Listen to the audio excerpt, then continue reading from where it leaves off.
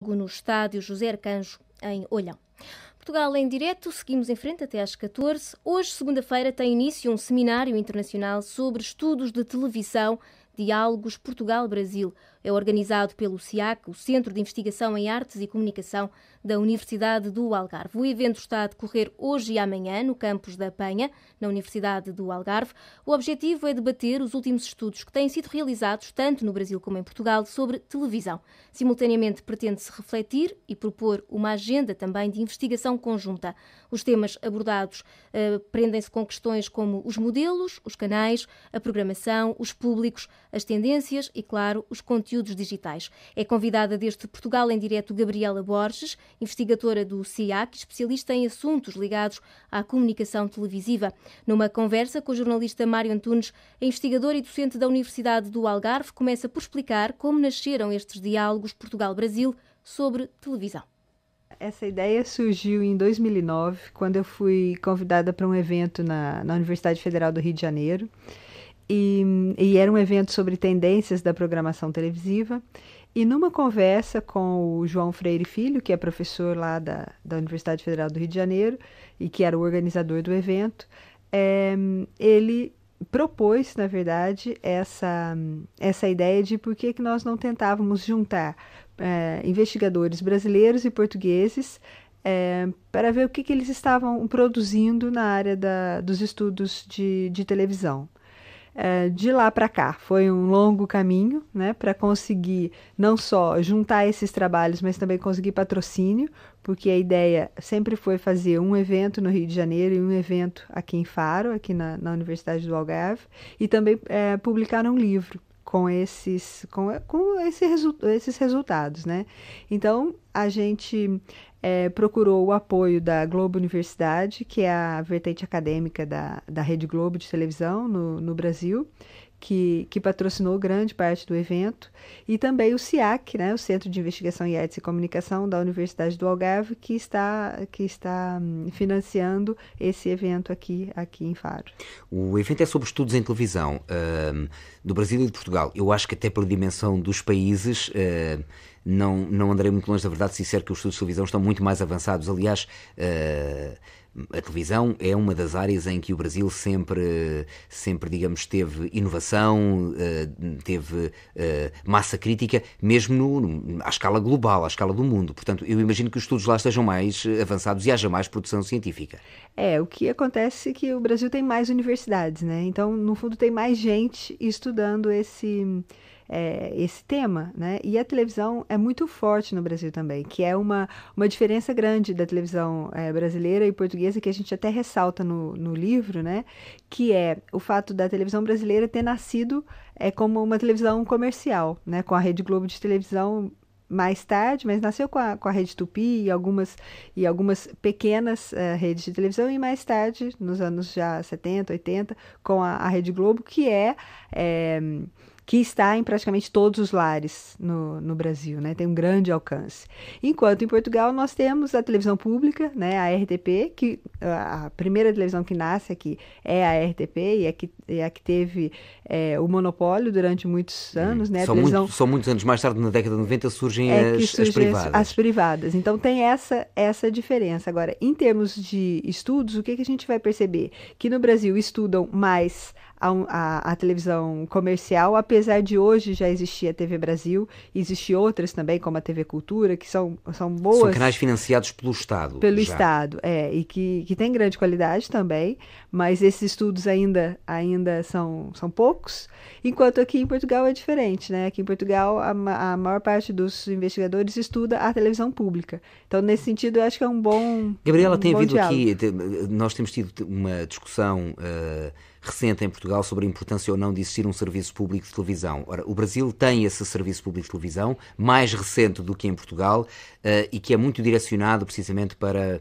uh, para a cultura, para a ciência. Uh, ou seja, a, minha pergunta é: faz todo o sentido? faz sentido manter, criar um serviço público de televisão, seja ele, tenha ele a característica que tiver, é importante haver um serviço público de televisão? Sim, eu acho nessa discussão né, do serviço público de televisão em Portugal, eu sou completamente contra o que querem fazer com a com a RTP, né? Essa nova proposta que está aí sendo é, discutida, né? Pelo, pelo governo. Inclusive eu tenho uma, uma pesquisa, uma, uma investigação bastante longa a respeito do segundo canal da RTP2 e, e eu acho que o serviço público de televisão ele gera uma cultura de qualidade é, num, num, determinado país, né? Porque as propostas de programas que, que o serviço público veicula são diferentes dos programas que são veiculados na televisão comercial e eles são necessários porque eles agregam valor à, à vida das pessoas. Então, nesse sentido, eu acho que é muito importante. No Brasil, o que aconteceu? É, já existe, por exemplo, a TV Cultura, que é uma, uma televisão é, pública no estado de São Paulo, que já existe há muitos anos, e o sistema lá é completamente diferente daqui, né? Porque aqui a gente tem um serviço público de televisão, lá são vários serviços, cada estado. Um pouco o um... modelo americano uh, da, da, chamada PBS, da, da do, do, dos canais americanos, que são, no fundo, uh, uma rede Isso, de, de é canais. uma rede que troca públicos. programas, né? E... Faz esse intercâmbio de, de, de, produções. Isso. Agora, em 2007, o governo Lula é, criou então a TV Brasil, que era é, que foi criada com, no sentido de agregar esses, esses vários esses vários canais e essas, e essas produções. Foi muito controversa a, essa criação desse, desse canal. Eu acho que ele ainda está aprendendo, ainda é um, é um canal criança, né? tem muito ainda o que, o que melhorar, mas, mas eu acho essencial. Isto leva-me a uma pergunta. O Brasil sempre copiou mais o modelo uh, americano, uh, norte-americano, digamos, uh, de televisão, de, de, mesmo de, de, média no geral, uh, do, do, que propriamente o modelo europeu. Portanto, Portugal está perfeitamente integrado num modelo europeu em que é. inicialmente nascem uh, canais uh, públicos e depois acabam por surgir os privados. No Brasil foi o inverso, foi um pouco à maneira americana em que surgem grandes redes de televisão comerciais. É. É, no Brasil, o que, o que acontece é que a Rede Globo de televisão, que no período da, da ditadura militar teve um, um grande incentivo né, para se estabelecer, é, ela monta uma indústria que é a indústria da telenovela, né? Um pouco baseada no modelo no modelo hollywoodiano, né? E também dos meios de comunicação do, dos Estados Unidos. E, e essa indústria, na verdade, é, permitiu o financiamento da própria televisão e de outros gêneros televisivos que não apenas a telenovela, né? Então, nesse, nesse sentido, é, a televisão brasileira comercial é, pôde se desenvolver, né? É uma, é uma televisão, nós imaginamos a televisão como, enfim, hoje também em Portugal é assim, já se investe em produção, mas verdadeiramente estas uh, redes de televisão uh, brasileiras uh, eram máquinas de, de produzir novelas, outro tipo de programas que vendiam e vendem para o mundo todo. Para o mundo todo, é. Em isso é muito, isso é muito interessante. Outro dia eu estava conversando com uma pessoa da Moldávia que me disse que aprendeu português a partir das, das telenovelas brasileiras. Quer dizer, eu nunca imaginava que na Moldávia passasse uma, uma telenovela brasileira e passaram todas, segundo essa, essa pessoa me, me informou. Quer dizer, é na China, no Japão, é no, é no mundo todo. É. Hum, programas, hum, quem não se recorda, enfim, da minha eh, geração e depois nas seguintes, eh, mesmo produções eh, infantis, o sítio do Pica-Pau Amarelo é hum. hoje ainda uma, enfim, uma, uma referência, uma né? referência é. a, a, nível, a nível da produção. Já nem falo das novelas, mas este caso particular ainda hoje é uma referência. Sim, sim. E há reedições né, do, do sítio do Pica-Pau Amarelo. Há, é, de tempos em tempos é, mudam seus, os personagens e, e, gravam novamente alguns, alguns episódios. Então aquilo acho que faz parte da vida de quase todo brasileiro. Né? Olhando para isto, para a dimensão de um país e do outro, uh, uh, estudos de televisão Diálogos Brasil-Portugal, uh, no fundo, provavelmente o, o, que vai acontecer durante estes dois dias não diria que é um pouco à semelhança daquilo que está aqui a acontecer uh, connosco, que estamos aqui a falar um bocadinho sobre as diferenças da, da televisão, uh, mas uh, provavelmente isto era o que se pretendia também, não é? a um nível provavelmente um bocado mais, mais académico, mas procurar essa troca de, de de informação, troca, de, troca de, uh, de experiências da televisão de um lado e do outro do Atlântico. É, é foi quando nós convidamos as pessoas para participarem né, desse, desse projeto, a gente pensou um pouco é, em algumas linhas, né, que seria é, a primeira delas o, o telejornalismo, né, que, é, que é muito importante. Então, nós temos dois nomes é, que eu acho que são bastante importantes, tanto lá quanto cá, que aqui é uma, uma pessoa que é bastante conhecida, que é a professora Felisbela Lopes, da, da Universidade do Minho, é, que tem já uma, uma investigação bastante vasta nessa área. E no Brasil é a professora Itânia Gomes, da, da Universidade Federal da Bahia, que também trata, da, estuda né, o telejornalismo há muitos anos. Então, essa é uma, uma linha. A outra linha que nós escolhemos foi é, a discussão sobre a questão da recepção, né, porque é, esse é um, é um campo de, de estudos dentro da, da, da, área né, de estudos televisivos que ainda é bastante, é, que ainda é pouco explorado, pouco estudado, não se entende muito bem é, quem são os, os, telespectadores, né? Muito por isso, é, eu acho que a televisão é, é, criticada até um pouco por causa dessa ignorância, né, de quem é que está do, do outro lado da, da tela. Isso existe porque é um país imenso, não é? Também. Sim, é bastante complicado, né? Estudar o, os públicos. Eu acho que é um, é um tema que por si só já é complicado, né? Porque por que, que a pessoa assiste televisão? Ou por que, que ela gosta de um determinado programa e não gosta de outro? É difícil mensurar. Uhum. E isso, será que né? o paulista uh, gosta do mesmo tipo de programas que gosta, por exemplo, um carioca, um baiano ou uh, alguém do Rio Grande do Sul? Portanto, há também essa, essa discussão? Sim, há, há essa, essa discussão que, de uma certa maneira, eu acho que o que a Rede Globo, por exemplo, faz, ela criou um, um modelo, né, principalmente baseado no eixo Rio-São Paulo. Se você escuta o, o sotaque, por exemplo, né, das telenovelas, a maior parte das vezes é esse eixo Rio-São Paulo que nós que, que é que é usado e, e ela criou um modelo que de uma certa forma tenta agradar a todos esses públicos das diversas regiões do país. De vez em quando assistimos a, a, a uns sotaques do, enfim, mais uh, da zona do Nordeste,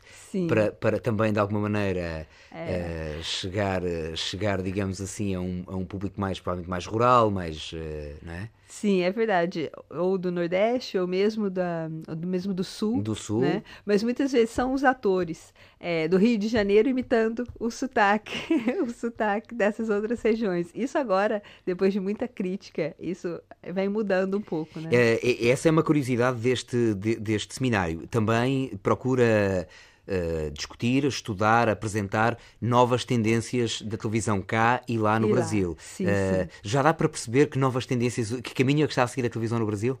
Olha, é, eu acho que a questão, a discussão agora que, que está sendo feita lá é, é a questão do digital, né? Da televisão digital que está, que foi discutido o modelo depois de muitos muitas e muitas discussões, chegou-se a um, a um modelo que está tá sendo implementado. Só que é, agora o próximo passo é que tipo de, de conteúdo vai ser produzido para essa televisão digital. Uma vez que a tecnologia já está definida, né? e já está sendo implementada. Nós estamos no processo de reconversão, vamos tirar as antenas, vamos deixar de emitir o sinal artesiano. Uh, está aqui já à porta, a partir, Sim, do, porta. a partir do próximo ano, o TDT, Televisão Digital Terrestre. Uh, como é que está este processo no Brasil? Ah, lá é ainda é um pouco mais lento né? Porque assim, é, tem algumas experiências já, mas ainda não ah, o apagão né? Ainda não se deu o apagão. ainda não. Não tem uma data para, para haver o apagão. Ainda não, hum. ainda não. Mas os conteúdos, a produção de conteúdos para o digital, isso já está a acontecer? Já está sendo, é, já está sendo, assim, de forma experimental, né? Está sendo discutido tanto pelas,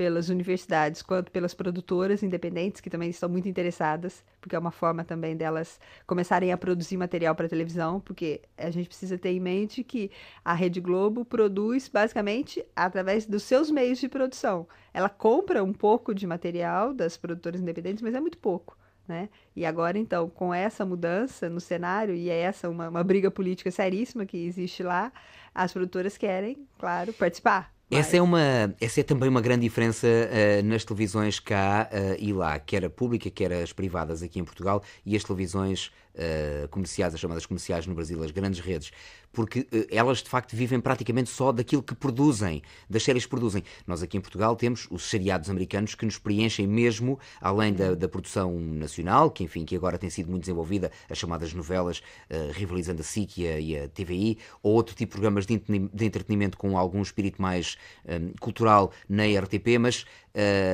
de resto nós compramos muito lá é. fora. No Brasil, estas cadeias quase se abastecem abastecem, produzem e abastecem-se a si próprias. Sim, é verdade. O que a gente encontra lá são a, a emissão de filmes, né? Mais até do que de, de séries, porque em termos do da, da produção dramática nacional é, é muito vasta, né? Porque tem as telenovelas, tem as séries, tem os seriados, tem as minisséries. Então, com isso, o, os horários, as, as grelhas de programação conseguem ser preenchidas, né?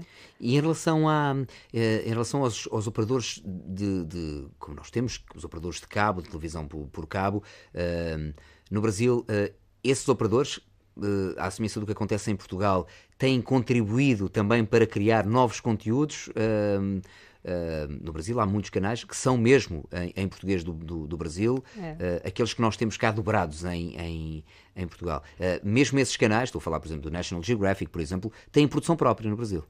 Tem, pouca, mas tem. Tem, tem, tem alguma. Tem alguma, é, tem, tem.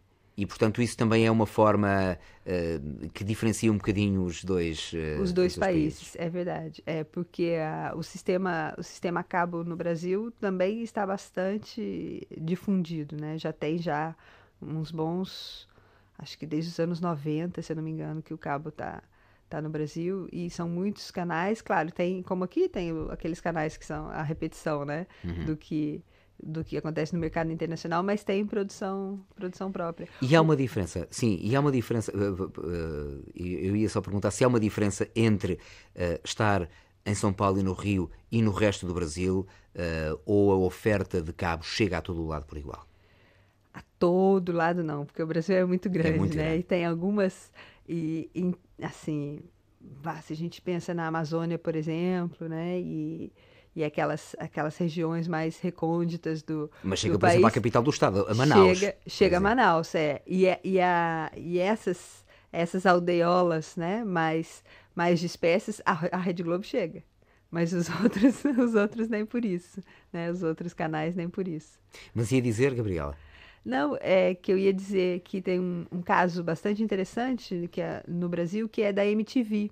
A MTV brasileira tem já, acho que foi criada também nos anos 90. Foi uma das primeiras. Foi, e tem uma história já longa que é de uma de, uma, de um canal né, é, estrangeiro que se, que se implementou no Brasil e tem uma produção nacional vastíssima, assim, toda, quase toda a produção uh, do canal é feita mesmo no, no Brasil, né?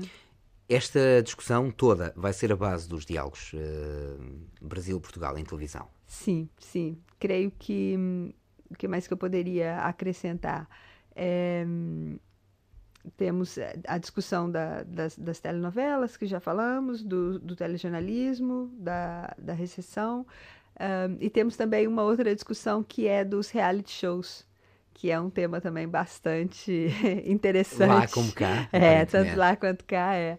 E, e, essa, essa cultura da celebridade, né? Esse é um, te, um tema também que, que, vai ser, que vai ser abordado no, no cenário.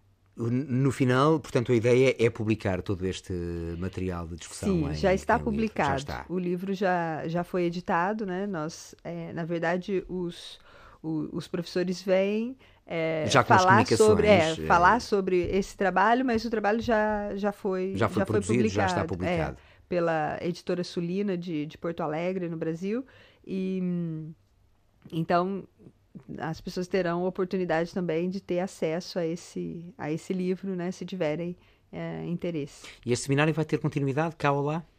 Sim, já, já houve lá. Já houve lá, Foi. portanto, agora cá, em princípio, uh, a, a haver terceira edição será de novo lá.